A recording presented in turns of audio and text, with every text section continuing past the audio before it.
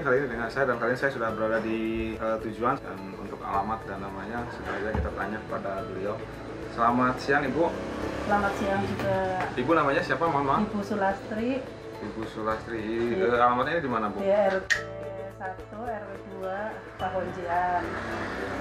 Kecamatannya? Majenang. Kabupaten Cilacap. Cilacap. Ya, ya, ya. Ibu uh, sebelumnya uh, penyakit yang diderita dulu apa? Bu? Saya penyakitnya kista hati alias itu liver. Liver ya, gangguan fungsi hati berarti. ya. Iya. Terus uh, keluhannya seperti apa dulu? Keluhannya saya buang air besarnya darah. Hmm. Rasanya perutnya kayak ditusuk-tusuk pisau. Hmm. Setelah itu saya mengkonsumsi Habatok. Saya alhamdulillah sekarang saya sembuh. Obatnya habis berapa itu dulu? Dulu saya habis yang kecil, yang 75.000 waktu itu harganya. Jadi 50 kan? Iya, betul. Saya terasa saya sembuh. Ya cuman masih sedikit, saya itu penyakitnya masih ada, sedikit itu pengapuran tulang, tapi berjalan dengan Habatok. Sekarang saya penyakit pengapuran tulangnya ya mulai sembuh. Rada ringan, Perubahannya kira-kira seperti apa ringannya Bu? Kalau dulu? Ringannya itu dulu badan saya berat diangkat. Sekarang sudah enteng. Dulu Kalau dulu- bangun aja susah saya. Dulu sendi itu kaku apa gimana Bu rasanya? sendinya kaku itu lututnya kaku semua. Sekarang sudah enteng.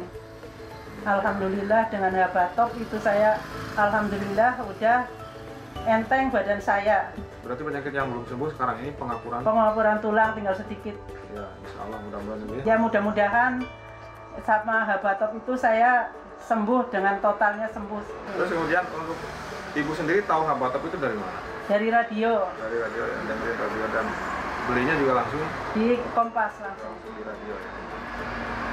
Terima kasih Ibu ya sudah berbagi pengalamannya tentang penyakitnya, tentang obatnya. Mudah-mudahan apa yang kita hasilkan hari ini mudah-mudahan menjadi kabar baik buat eh, warga semuanya yang lain. Barangkali yang mau mencoba obat yang ibu konsumsi abatok mudah-mudahan yang lain juga mengalami kesembuhan seperti itu dan ibu juga eh, pengapuran tulangnya mudah-mudahan secepatnya bisa sembuh dan bisa sehat kembali bisa kembali bekerja. Karena ibu Sulastri ini kebetulan pedagang aktif.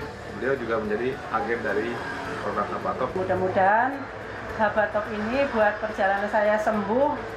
Yang menyembuhkan bukan Habatok tapi Allah Subhanahu wa taala ya.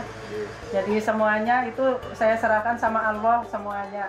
Dari mulai itu dari Habatok itu pelantarannya gitu. Ya, ya. Mudah-mudahan saya sembuh dengan totalnya.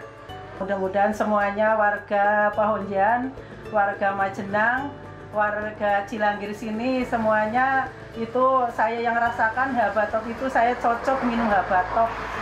Ya itu saja. Pemirsa untuk sesi kali ini dan mudah-mudahan informasi yang kami berikan saat ini tentang review dari pengguna Batok mudah-mudahan bisa menjadikan informasi dan bahan referensi buat anda semuanya. Anda juga bisa me- menentukan pilihan berobat sekarang saya Aris Sandi Assalamualaikum warahmatullahi wabarakatuh Waalaikumsalam warahmatullahi wabarakatuh.